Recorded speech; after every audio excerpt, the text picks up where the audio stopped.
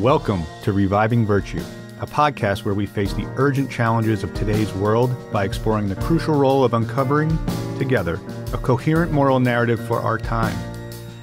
I'm your host, Jeffrey Anthony, on a quest to tackle liberalism's quandary and pave the way towards a more unified society. Join me on this journey as we delve into ethics, philosophy, and community building, seeking to create a common understanding that fosters human flourishing and harmony. Welcome to Reviving Virtue. Welcome to episode number four. In today's episode, we dive into the fourth chapter of John Dewey's The Public and Its Problems, aptly titled Eclipse of the Public. Dewey opens this chapter acknowledging the declining optimism about democracy in his time, attributing both its criticism and praise to a misunderstanding of democracy as a singular idea, rather than a product of technological and social evolution. He argues that inventions such as the printing press, the railway, the telegraph, and the rise of mass manufacturing and urbanization inevitably led to some form of democratic government. He emphasizes that criticism of democracy should take into account the circumstances under which it has evolved and should focus on practical alternatives rather than absolutes. Now, Dewey takes us back to the roots of American democratic polity. Born out of the genuine community life in small, local centers primarily focused on agricultural industry. These communities valued personal work, skill, ingenuity, initiative, adaptability, and sociability. Political units were small and their goals were localized, maintaining roads, schools, and community peace. The state was seen as an assembly of these units, and the national state was a federation of these states. However, Dewey points out an important change in our democracy the transformation of the Electoral College. Dewey's critique of the evolution of the Electoral College presents a striking narrative for today. According to Dewey, the Electoral College, originally intended as a body of, of distinguished local individuals selected by local citizens, who would then use their personal judgment to elect a leader, has completely changed. Today, it functions more as an impersonal tallying mechanism. Electors, once known and respected figures in their communities, are now largely anonymous to the majority of voters. Instead of exercising personal discretion, they're expected to vote in line with the ticket, predetermined in some somewhat private gatherings. This departure from the original intent of the Electoral College, Dewey suggests, reveals the transient nature of the conditions that give rise to our democracy. But here, we face a critical question.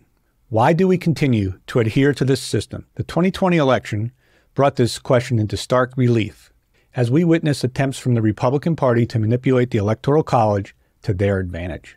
This incident underscores the risks of clinging to systems that originated in a vastly different era.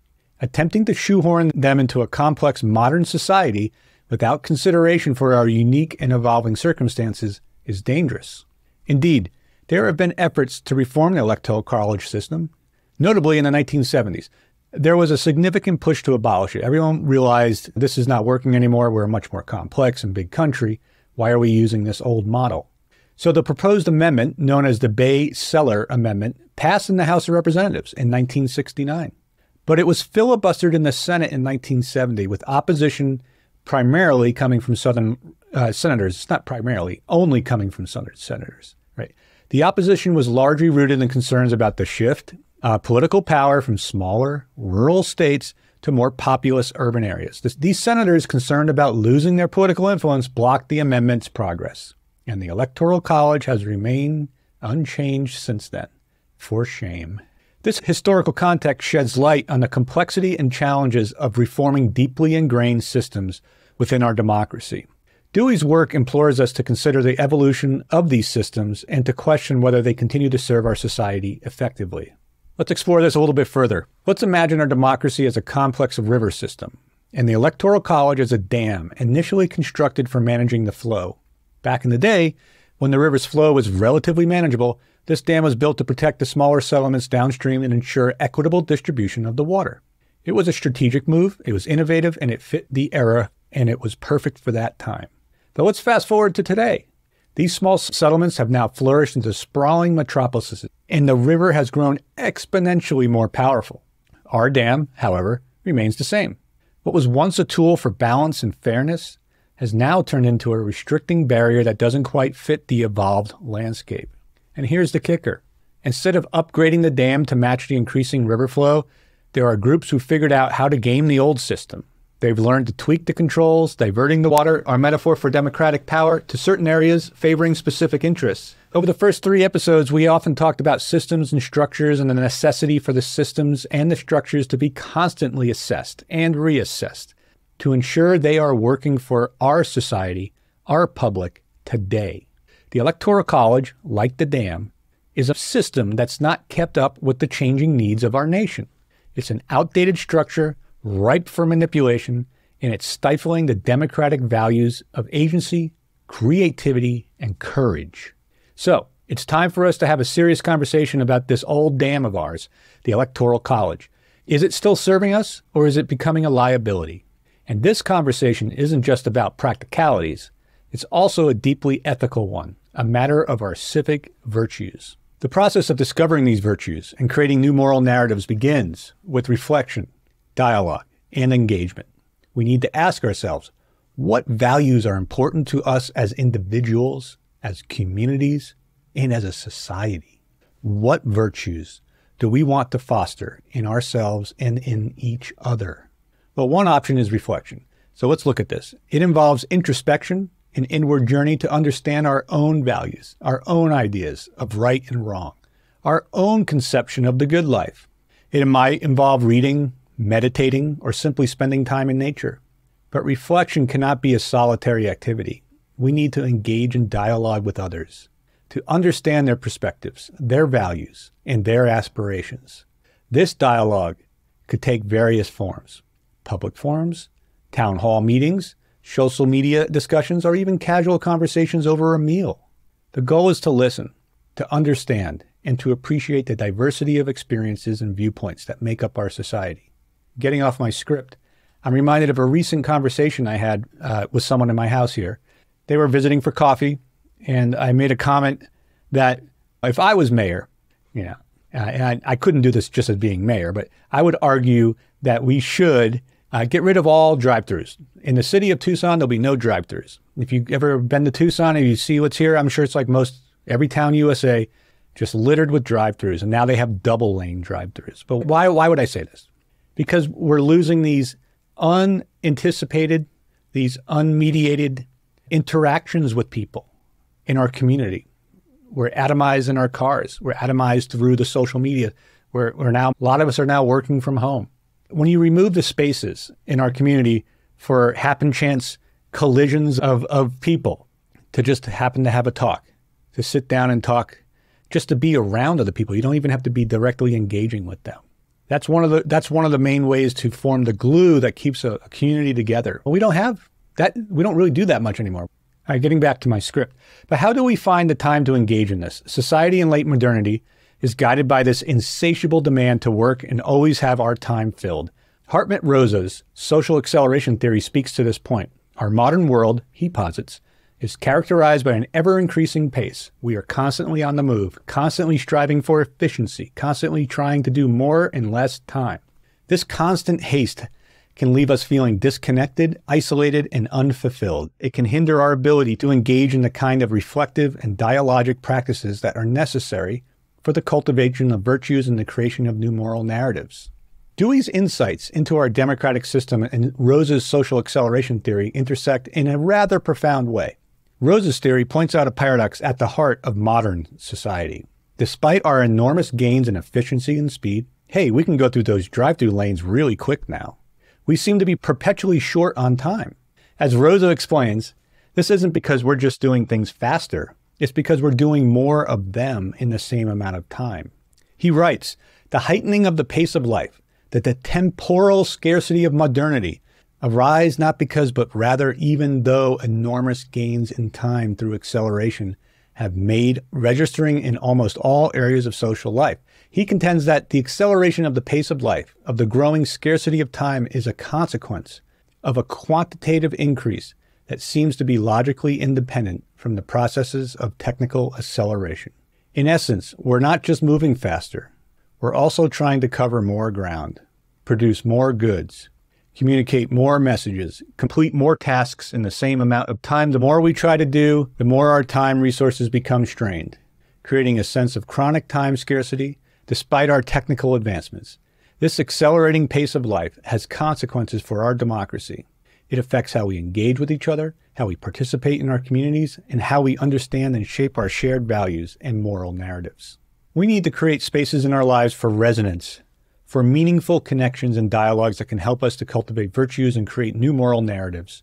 We need to balance our drive for more with an appreciation for the here and now, for the values of slowness and deliberation, for the importance of community and shared purpose. Rosa, in his book Resonance, A Sociology of Our Relationship to the World, brings in a theory of three axes of resonance the horizontal axis, of social relationships, the vertical axis of our relationship with ideals and values, and the diagonal axis of our relationship with art, nature, and material objects.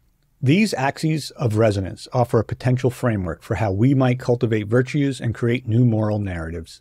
They underscore the need for meaningful connections and dialogues in multiple dimensions of our lives I will review them briefly now, but we'll explore this concept in depth with a future podcast, if not several, and hopefully have Dr. Rosa on the show for a deep discussion on the issues. Now, onto the three axes of resonance. In terms of the horizontal axis, we need to foster meaningful resonant relationships with each other. This isn't just about having more interactions, it's about having deeper, more meaningful ones. It's about fostering a sense of community, of shared purpose, and mutual understanding. It's about listening to each other, understanding each other's perspective, and appreciating the diversity of experiences and viewpoints that make up our society. The vertical axis invites us to connect more deeply with our ideals and values. This is where the reflection and dialogue about virtues come into play. What values do we hold dear? What virtues do we aspire to embody? How do these ideals and values shape our actions, our, des- our decisions, our visions for our society? Engaging with these questions can help us to cultivate virtues and create new moral narratives. Meanwhile, the diagonal axis of resonance invites us to deepen our connection with the world around us. This could involve engaging with art, spending time in nature, or simply being more mindful of our everyday surroundings. It's about nurturing a sense of wonder, awe, and reverence for the world we inhabit. This too plays a crucial role in our cultivation of virtues and the formation of new moral narratives. Creating new moral narratives isn't an overnight task.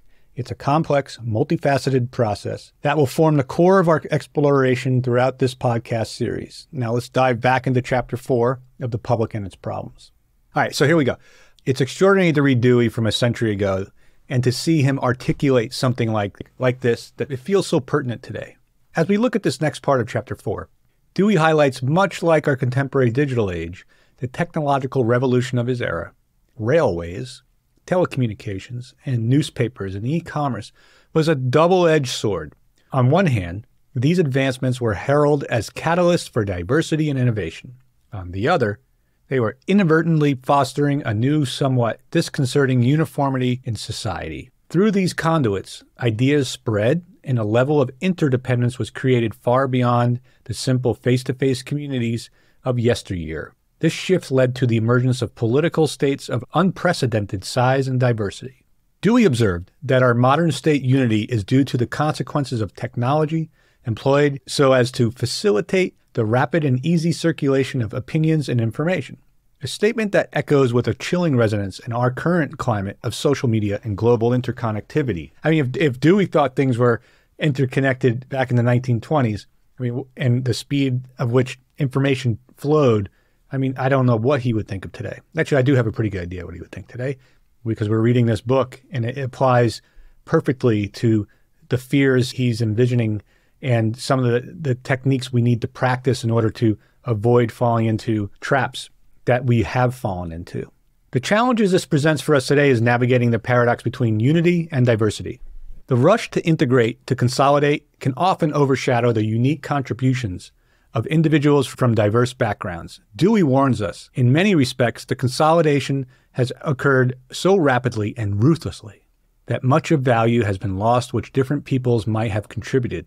This insight, coupled with Hartmut Rosa's theory of social acceleration, allows us to see why our society appears to be fraying at the edges. What we're witnessing is an era of accelerating standardization, a tendency towards a one size fits all model that risks promoting mediocrity. The challenge we'll be unpacking in this podcast is how we reclaim and cultivate the richness of our collective diversity in an era of relentless sameness. How do we ensure that our democratic society truly mirrors our values, our aspirations, and our shared human experience. We must focus on how to cultivate virtues and create new moral narratives that honor both unity and diversity.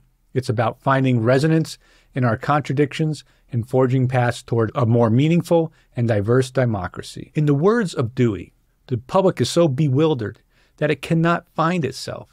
We are, in essence, a public in a state of confusion, a society lost in the complexity of our own creation. The intricate systems of technology, industry, and governance that were built have become so multifaceted and intertwined that they are far beyond the grasp of the average individual. Our societal labyrinth, with its twists and turns of interconnected systems, has left us feeling disoriented and disconnected from the very mechanisms that are supposed to serve us. Dewey's reflections on the public's disillusionment with politics feels eerily relevant today, as if we've been staring into a century old mirror. He describes a widespread skepticism regarding the efficacy of voting, a sentiment that is echoed by many in the present day. Dewey writes, What difference does it make whether I vote or not? Things go on just the same way. My vote never changed anything. Now, that was Dewey quoting what someone else would say around him during his time. Many of us today are grappling with a similar sense of disenfranchisement, feeling like our voices are barely whispers in the grand cacophony of the political machinations. Moreover, Dewey zeroes in on the paradoxical attitudes within big business, an insight that continues to hold water today. In fact, I think it's more powerful today. Big business denounces the materialism of socialists while simultaneously viewing themselves as the custodians of prosperity, a term that, as Dewey observes, has taken on an almost religious color. This tension between various factions, all strive for economic control and influence, is still very much at the heart of our political debates today. In Dewey's own words, their denunciations of the materialism of socialists is based simply upon the fact that the latter want a different distribution of material force and well being than that which satisfies those now in control. These power dynamics, as old as they are, continue to shape our society and our political narratives, pushing us to contemplate more deeply on how we might foster a more equitable and inclusive democracy. And yet, amidst this disillusionment and disconnect lies a challenge, an invitation to redefine the relationship between the public and politics.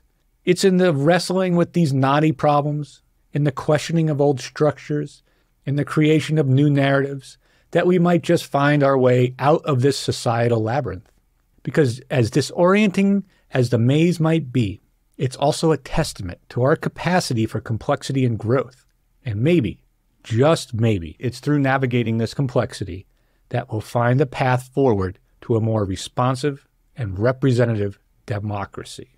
Man, as we work through this book, it is striking just how much has not changed in our politics and how pertinent Dewey's observations still are even a century after he wrote them. Well, it's not after a century, it's just under a century. Excuse me about that. The same frustrations, the same disillusionments, the same struggles for power and control. It's as if we've been caught in a time loop, repeating the same political dance over and over again. It's both fascinating and disheartening to see how these systemic issues persist how the socio-political landscape seems to have evolved in ways that are superficially different but fundamentally the same. It's almost like it's intentional. Our politics, it seems, is still very much a battleground of competing interests, where the voices of a few often drown out the needs of the many. We're still wrestling with the same paradoxes of contradictions that Dewey pointed out the materialistic denouncements of big business, the skepticism toward the efficacy of voting, the struggle for a more equitable distribution of resources, and yet amidst these recurring themes, we also see a society that is constantly evolving, constantly adapting, constantly striving for something better. Dewey's work serves as a reminder that while our political systems may be stubbornly resistant to change, they are not immutable, and we must be self reflective and aware of our agency, that we possess the ability to change and to break this loop. Our task then is not to just lament the unchanging nature of politics, but to understand it, to question it, and, most importantly, to challenge it. And maybe as we delve deeper into Dewey's insights, we can find some inspiration for new ways of thinking about our politics. We have new tools, new knowledge, and new perspectives that Dewey would not have foreseen.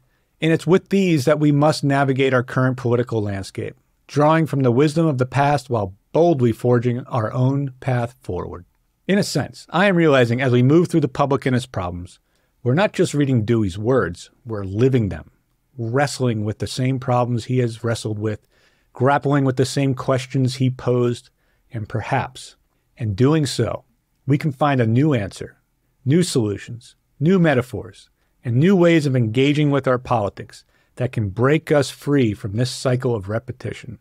And, in the process, we might just reinvigorate our democracy with a fresh sense of purpose, relevance, and possibility. As we dive deeper into this, into this chapter, we come across this concept of an inchoate public, a term he uses to describe a populace that is so overwhelmed by the vast, remote, and intricate forces shaping society that they're essentially disoriented. Dewey observes, I quote, an inchoate public is capable of organizing only when indirect consequences are perceived, and when it is possible to project agencies which order their occurrence. This sense of disorientation, of feeling the impacts of societal forces, without being able to trace them back to their origins or exert any meaningful control or influence over them, paints a picture of a public that is, in Dewey's words, amorphous and unarticulated. This sense of disorientation isn't too far from what we see today. Our society is now even more complex and interconnected, with global events impacting our communities in ways that are often hard to predict or understand. As Dewey notes, man, as he has often remarked, has difficulty in getting on either with or without his fellows. Even in neighborhoods, he is not more successful in getting on with them when they act at a great distance in ways invisible to him. Now, to make matters more challenging, the traditional political principles that people once relied on have become less straightforward and more intricate. Even topics like free trade have broken down into countless sub issues and policy details that the average voter struggles to grasp quoting Dewey, for the average voter today, the tariff question is a complicated medley of infinite details. You can see he even talked about that in 1927. We're still talking about that today. This complexity can lead to a sense of disillusionment, right? With the voters feeling that their beliefs and convictions are too insignificant to influence these vast, intricate systems. Let's bring this to 2023. Let's take a moment to consider the concept of free trade. The vast interconnected networks of global trade are challenging to navigate, even for those of us who dedicate our lives to understanding them. Yet these systems significantly impact our everyday lives, rippling through our communities, our economies, and our political landscapes. A poignant example can be seen in our immigration dynamics, specifically the influx of immigrants from the South into America. To fully grasp this situation, we need to comprehend that, that it isn't just about individual choices to migrate, it's part of a larger systemic issue intricately tied to our actions and policies here in the United States. Title 42, a public health provision invoked in 2020 during the global COVID 19 pandemic, allowed U.S. authorities to rapidly expel migrants at the border. Its termination has led to a surge of immigrants seeking refuge within our borders here in the United States. But the true genesis of this wave traces back to our shores, to decisions made within our halls of power. Imagine the U.S as an economic storm, a powerful system with its winds of neoliberalism sweeping across the borders and creating turbulent conditions far away. Our trade policies, such as NAFTA, have set in motion a sequence of events that have reverberated far beyond our borders. The workings of global finance under the tempestuous dynamics of neoliberalism exploits the labor abundance in Mexico and the global south. This relentless exploitation translates into the production of goods that flood U.S. markets, while simultaneously draining the wealth from those labor rich regions. This is intentional. This economic extraction exasperates local conditions, thrusting these communities deeper into violence and extreme poverty. It is akin to a relentless storm sweeping away resources and leaving behind a ravaged landscape. And we blame them. The repercussions of this systematic exploitation manifest as a desperate exodus, forcing people to escape their homes in a quest for safety and better living conditions which we have here in America.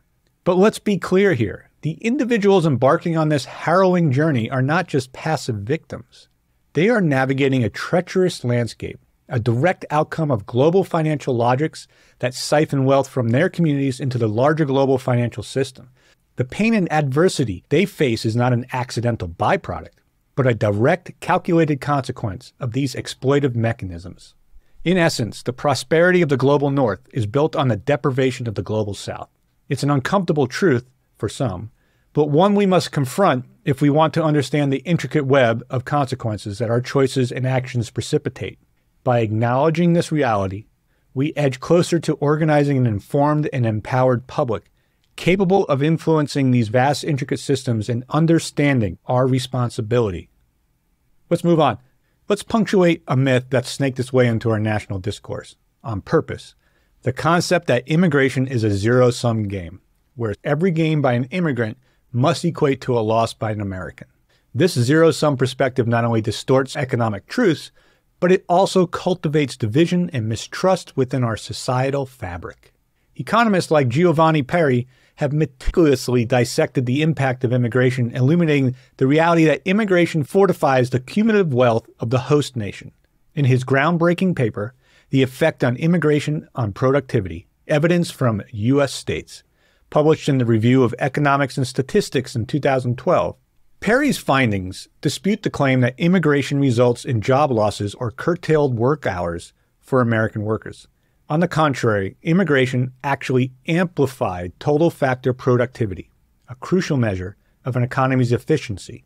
Furthermore, his research shows that even a modest 1% increase in employment due to immigrants catalyzed a half percent rise in income per worker in that state.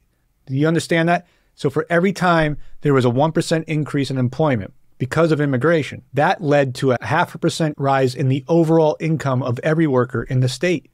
Peri's research accentuates the significant contributions that immigrants make to our economy, encouraging task specialization efficiency, fostering technology adoption, and driving economic growth. These findings refute the widespread narrative that immigrants are here to snatch your jobs, a narrative that crumbles under the scrutiny of empirical evidence. However, as we delved into our opening episode, objective facts often yield to the weight of socially constituted narratives and moral stories. Hence, our collective mission is to weave new moral narratives that reflect the reality of our lived experience today, rather than perpetuating these myths and misconceptions that lead to violence and, and, and societal degradation. To lend further credence to this argument, a 2017 report from the National Academies of Science, Engineering, and Medicine concluded that immigration has an overall positive impact on the long run economic growth in the U.S. I mean, I could just cite stuff for days. I wrote about this when I was in my grad program. You could literally hundreds of, of research papers out there that show immigration into the United States increases our productivity, it increases the wealth of our nation, it creates more jobs. I just don't even know sometimes. Right. I'm not advocating for the, that the transition is always seamless or devoid of challenges. Indeed, there can be short-term disruptions and adjustments. This always happens. There's a creative destruction happening.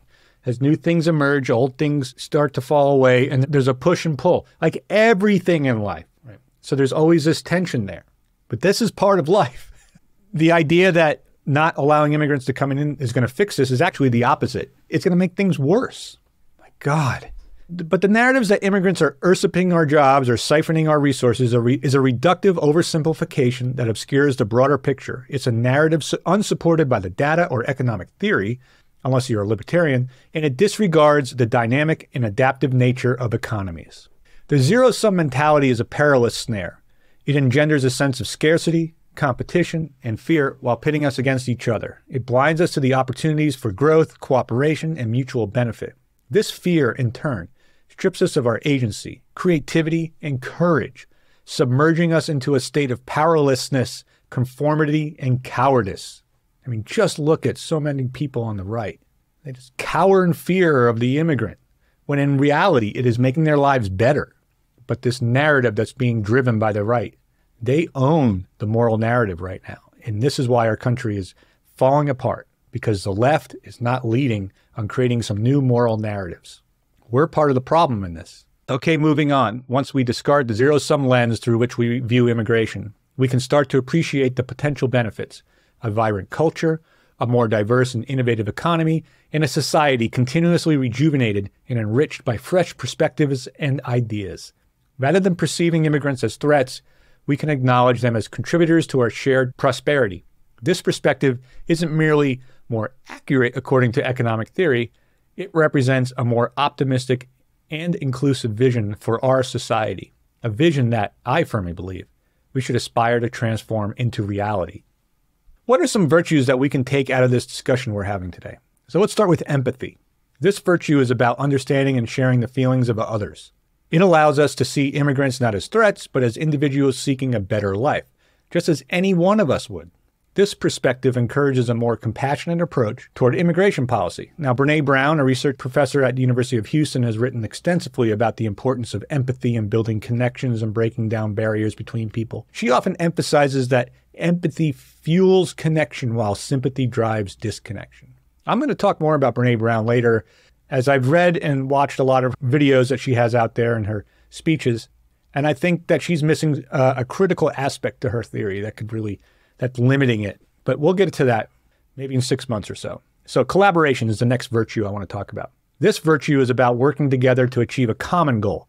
In the context of immigration, collaboration means recognizing the contributions that immigrants make to our shared prosperity and working together to maximize these benefits. This can involve creating policies and programs that facilitate the integration and success of immigrants in our society.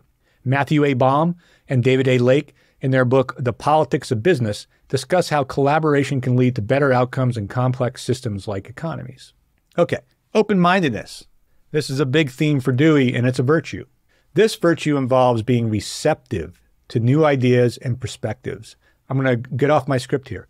This is terrifying for a lot of people. Open mindedness, being receptive to new ideas and perspectives. This is a critical thing if you're an artist or a musician you have to be receptive to new ideas and, and perspectives. And then there's within the subgenres of each of those, like in jazz, you have to you need to be receptive within the same song you've played a hundred times. It's going to be different. You know, this is a little different than in other areas. And and we need to get this open mindedness, this idea of being receptive to be more embraced by the broader community. I think that has to go back to education. I also think it might be one of the reasons why art and creativity is not focused on as much as it used to be in our public schools. So, open mindedness, it allows us to discard this, this zero sum lens we were just talking about and see the potential benefits of immigration. A more diverse and innovative economy is society continuously renewed by fresh perspectives and ideas. This is something our government is being strangled by with the gerontocracy. There's no fresh ideas up there. People are in their 70s and 80s and going into their 90s. So we need to have a we need to open mindedness allows us to challenge our assumptions and prejudices and to learn and grow from our interactions with others. So uh, an example here that you could check out is psychologist Carol Dweck's work on growth mindset emphasizes the importance of open-mindedness for personal and societal growth. But how to weave these virtues into our daily practice and for these virtues to be an integral aspect of our daily milieu is the real trick.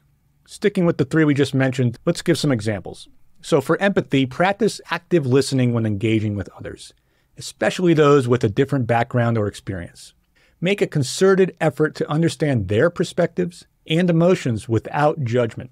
Additionally, expose yourself to diverse narratives, cultures, and experiences through literature, film, and direct interactions to broaden your understanding and appreciation of other people's realities.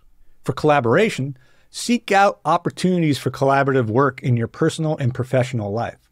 This could be as simple as group projects at work or school, or as complex as community initiatives. Remember, the goal isn't to win, but to create something of shared value. Furthermore, encourage a collaborative culture by acknowledging the effort and contributions of others and promoting a sense of shared ownership and responsibility. And for open mindedness, practice intellectual humility. I just love that word humility. It's, that's my number one virtue. Maybe we'll get into that some other time. So, back to what I just said. So, for open mindedness, practical intellectual humility. Accept that you don't have all the answers and be open to learning from others. Challenge your beliefs and assumptions and consider other viewpoints. Engage in dialogues and debates that push your thinking and be willing to change your mind in light of new evidence or compelling perspectives.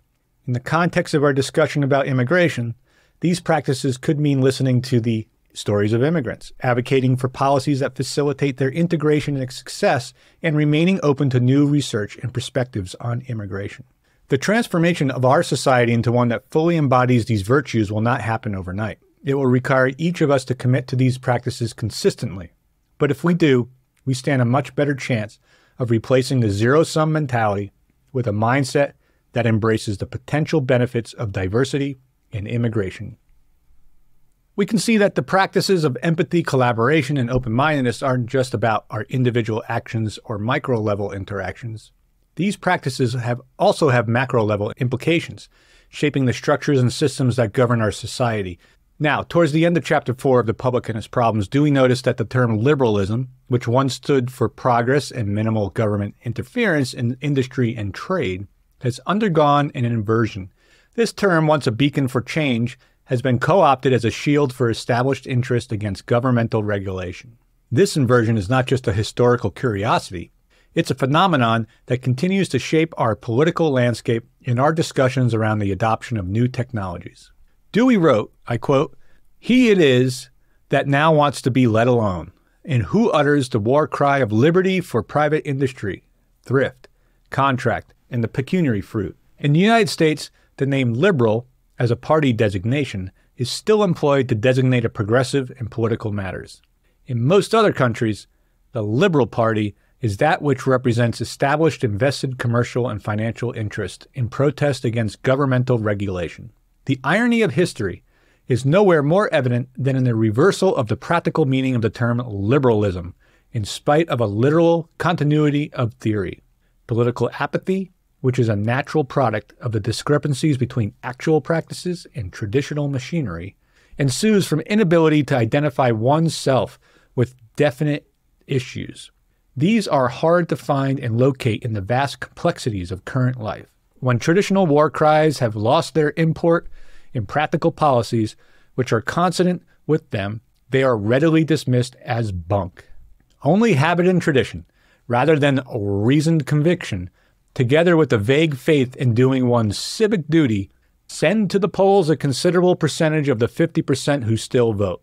And of them, it is a common remark that a large number vote against something or somebody rather than for anything or anybody, except when powerful agencies create a scare.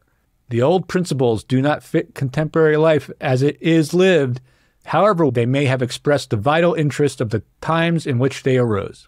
Thousands feel their hollowness even if they cannot make their feeling articulate. The confusion which has resulted from the size and ramifications of social activities has rendered men skeptical of the efficiency of political action. Who is sufficient unto these things? Men feel that they are caught in the sweep of forces too vast to understand or master. Thought is brought to a standstill and action paralyzed. Even the specialist finds it difficult to trace the chain of cause and effect, and even he operates only after the event, looking backward, while meantime social activities have moved on to affect the new state of affairs. This observation serves as a cautionary tale for our technological driven future. It compels us to ask not only can we do it, but also should we do it? And if so, how should we? It pushes us to ensure that our decisions are guided not just by what is technologically possible, but by what is socially equitable and politically engaging.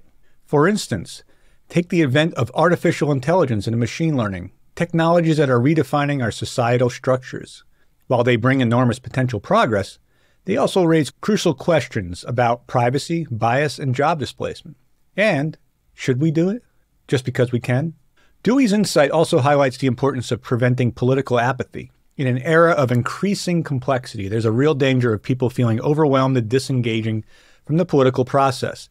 This sense of powerlessness and confusion undermines our democracy and obstructs the path to a society that embodies empathy, collaboration, and open mindedness. We should consider declining voter turnout in many democratic nations as a sign of this growing disconnect. Finally, Dewey's work reminds us of the role of experts in our society. While their expertise is necessary in handling the technical aspects of a societal problem, it raises challenges for democratic participation. Balancing expertise and democratic involvement is a tightrope we must walk if we are to create a future that serves the collective good, A recent example can be seen in the handling of COVID-19 pandemic, where the necessity of expert guidance often clash with the public sentiment and individual freedoms or ideas of what individual freedoms ought to be. As we continue our exploration of these ideas in the coming segments, let's bear in mind Dewey's cautionary words. Let's work to ensure that our embrace of new technologies and systems does not compromise our commitment to core societal values. All right, we're coming to the last section here. Thank you for hanging with me. We're at the end of chapter four. So, John Dewey states Democracy is more than a form of government, it is primarily a mode of associated living, of conjoint communicated experience. That's beautiful. This idea is at the heart of our discussion today and the overarching theme of the podcast. As we navigate an increasingly complex, rapidly evolving society, we grapple with the challenge of fostering a public that can effectively organize itself amidst constant flux. Our technological age, defined by mass production, remote markets, and unprecedented communication tools, disrupts traditional structures and relationships, thereby complicating the process of political organization. In the face of these challenges, we must remember Dewey's words. The public is not an aggregate of individuals. Individuals come to share in the public when communicating with one another. This communication isn't just about sharing information, it's about building collective understanding and fostering empathetic connections. In our hyperconnected world, we are exposed to an avalanche of information every single day. Fostering such meaningful communication becomes an even more crucial role. Yet, it is also more challenging as the same forces that enable connection can also distract us from the issues that matter. And I'm off script here. And there are certain people in our political apparatuses that use this to their advantage. Dewey recognizes this problem. He observes the rise of the formidable rivals to political concerns with industrial advancements offering a multitude of distractions from work to amusement. This isn't merely an old story of bread in the circus, diverting attention. It's a complex dynamic of the modern age, where even those with leisure often find themselves consumed by their own specialized pursuits, leaving politics to become another business. Amid such distractions, how can an effective public emerge? As Dewey noted, communication is the cement of society. This takes us back to our core challenge, fostering meaningful communication amidst the noise and distractions of our complex, rapidly changing world. Our task isn't just to filter out the noise, it's also to create spaces where people can engage in meaningful dialogue, deepen the understandings of issues, and develop a shared sense of purpose, that resonance that we started this episode with. Our technological tools can be powerful aids in this endeavor, but only if we use them thoughtfully, ensuring they serve our collective goals rather than diverting us from them. The communication of meaning is the heart of community, said Dewey.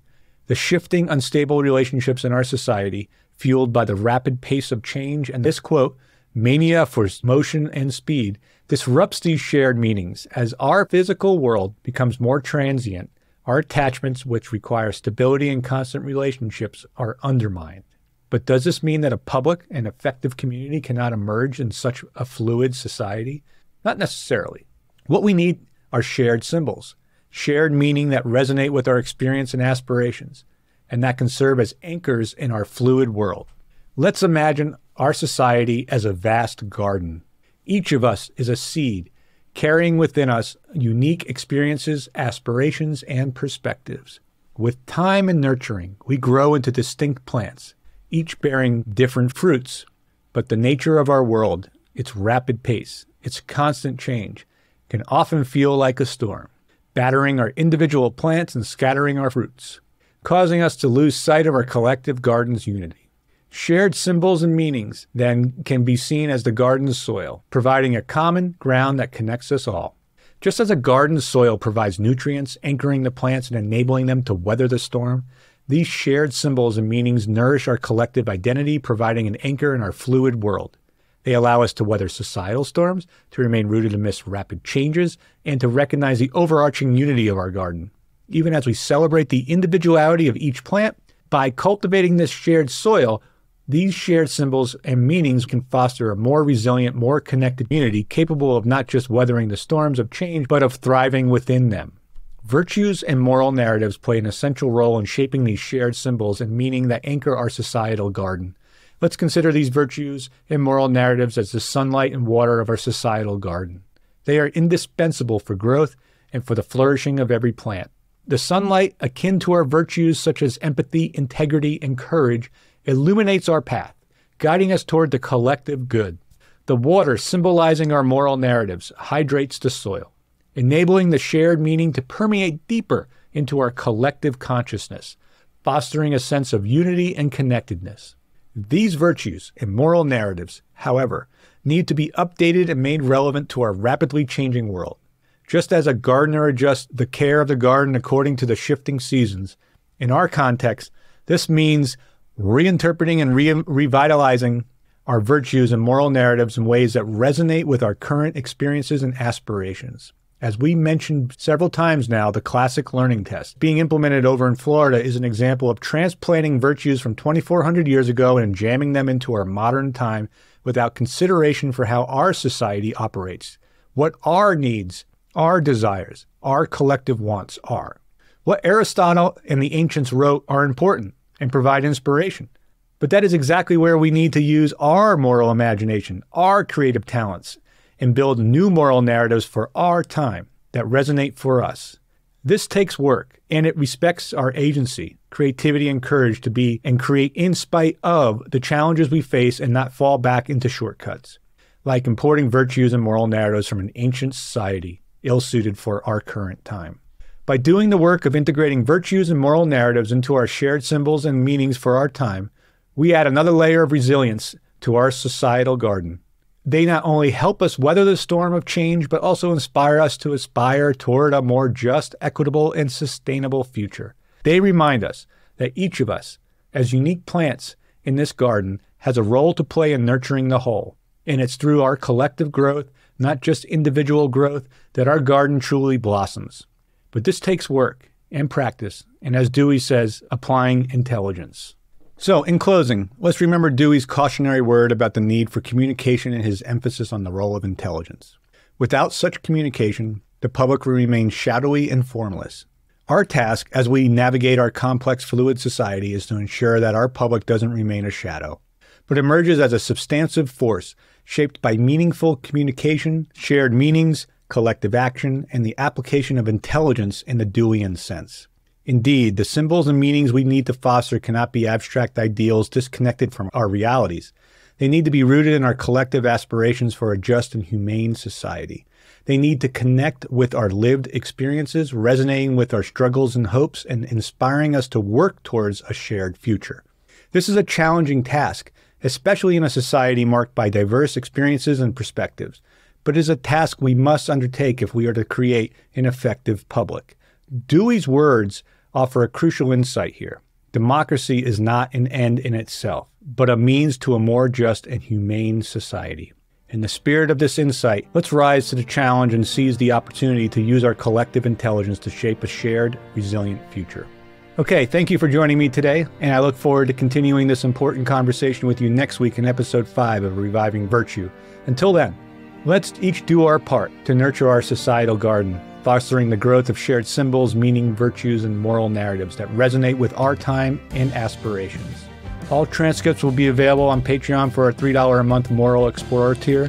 And if you upgrade to $5 a month, the Ethical Pioneer tier, you can listen to the podcast early and receive a private RSS feed you can subscribe to through your podcast app. You don't have to listen to it through Patreon. I usually finish each episode Thursday or Friday, so that gives you a four or five day window of early access. And there's one more tier. It's the $15 a month, and it's the Virtue Champion tier. And this tier gives you a custom made coffee mug every three months. And the custom made mug will feature a topic. The first one is going to be featuring the John Dewey series. So thank you. I'll see you again next week and be well.